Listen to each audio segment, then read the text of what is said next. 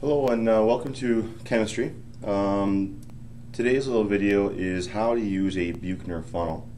Um, also, you know, we're basically trying to uh, accomplish a task in your chemistry lab, and that's relative to a solution and a solute.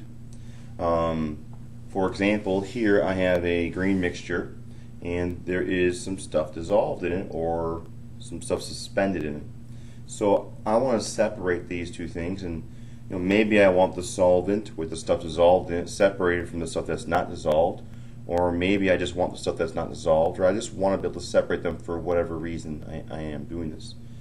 So our little picture here shows that we have three different solutions and some terms surrounding them. Um, I have my solution, this is the whole thing, the solute and the solvent. Um, I have something that might be considered a suspension where I have my solvent in there, and this stuff is just kind of floating in there. And given time, um, it will separate out, or I can um, separate out myself. Um, here, everything's fallen to the bottom, and we often refer to this as a precipitate. A suspension, given time, will separate out on its own. Something that is truly dissolved will not separate from the solvent at, at any point. Um, if it's truly dissolved, you cannot filter it out. You cannot use a centrifuge to pull it out. It is in solution. Um, you could boil away the solvent, but that's about it. Or you could chemically react something to it and drop it out. But uh, that's called gravimetric analysis. Either way, um, the other term I have here is supernat, and this is often uh, referred to as the chemical um, above the precipitate. If I were to separate these two things, the precipitate would be separated out, and the stuff that's left over is the supernat. S U P E R N A T, in case you can't uh, see that. All right, so that's our basic idea here. Um, some of the terms that um, we'll be using in this video, or some of the things, the uh, tools we'll be using are going to be what's called a side arm flask. This is a side arm flask. It looks like an Erlenmeyer flask, but it has a side um, piece to it for vacuum filtration. The this whole system using a vacuum filtration um, it just speeds the filtering process up. We could easily use gravimetric uh, gravity filtration, uh, but in some sense that might take a long time. All right, so sidearm flask. I have a Buchner funnel, um, B-U-C-H-N-E-R. Um, you can tell by the size of my hand, this is a fairly large container. These come in various sizes, bigger and smaller. Um, inside here there are a bunch of holes, and I also placed my filter paper in here. Um, Alright, I have a hose, which will hook to the side of the Erlenmeyer flask.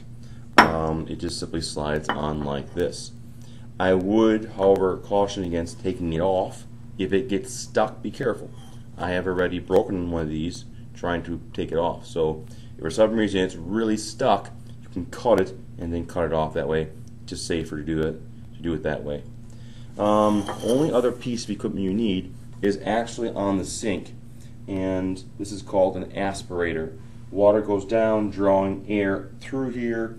Um, the um, in this case, the hose goes to the side arm of the aspirator, and when I turn it on, it starts to draw uh, gases through, and you'd be able to feel it right here.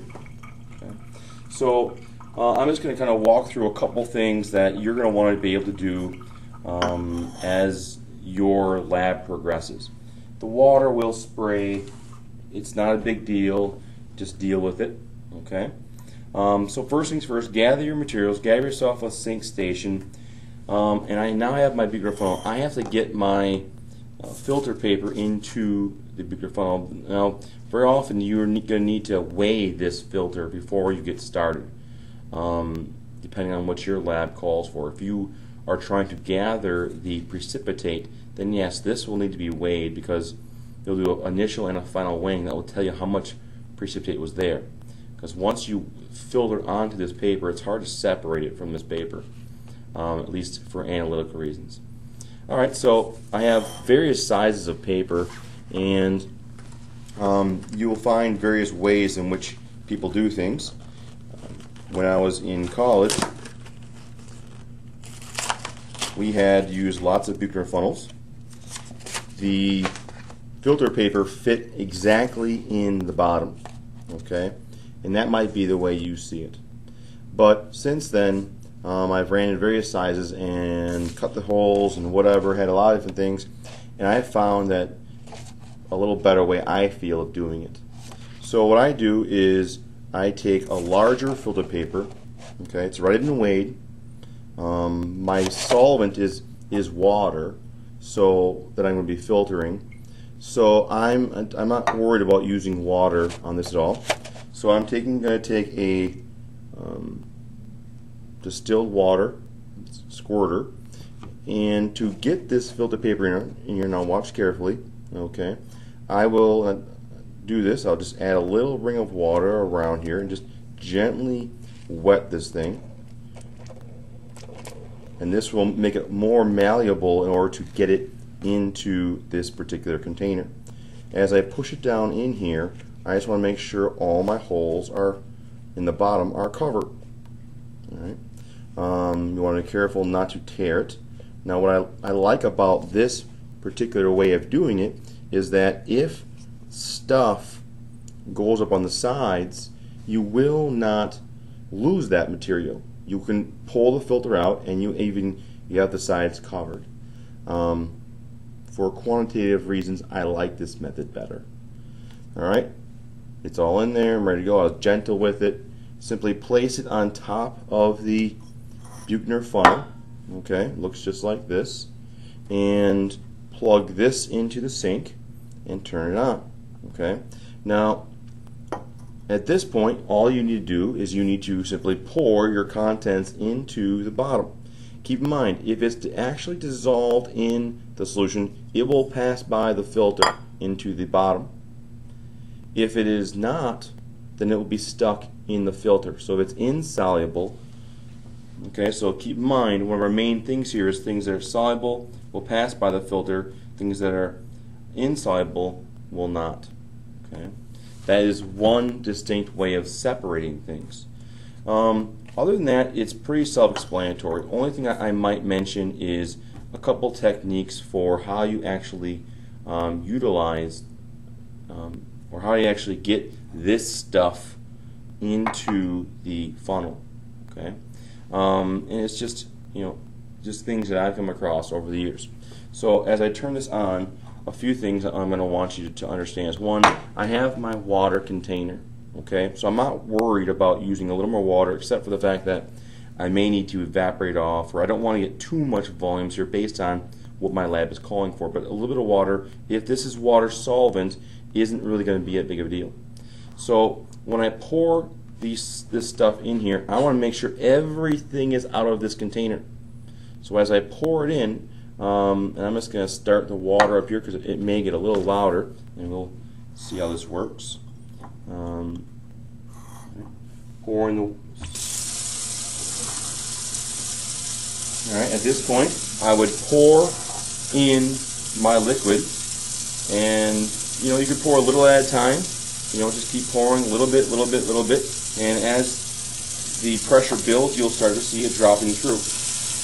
All right and you may need to crank the water up to a larger level.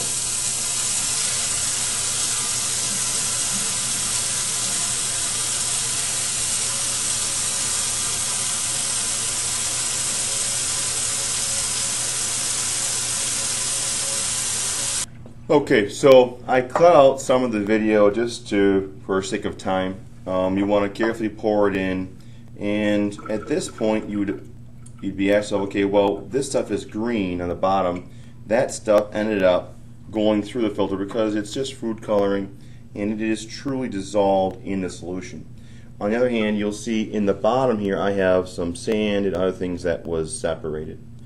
A few things you want to be careful of is one, you know, what are you anticipating? Are you anticipating this stuff to be clear? Because if you are and it's not, you may have a hole in your filter. If that's the case, You can always weigh another filter and add it over the top and re pour this stuff back through again. Okay? That's not against the rules, it's commonplace. Um, also, you'll notice that in my original beaker, I still have some of my solid material. Uh, I can use this liquid, pour it back in here, and rinse this out like so. Pour this back in. Because I am trying, if my goal of my experiment is to try and get all that solid into my filter, then I can use this stuff again and refilter it through so I can trap more of it in the funnel. Okay. Now, pouring this stuff back into the funnel um, is just a, a, little bit of a technique where I like to swirl and then dump a little bit quicker. That kind of suspends as much material as possible and then dumping. So again, we just continue that process as as I did previous, just running the filter, carefully take out the filter, um, place possibly on a watch glass or whatever, it can be removed, dried and analyzed for your purposes. Okay. Um, this is called a Buchner funnel um, using vacuum off of a sink. Thank you.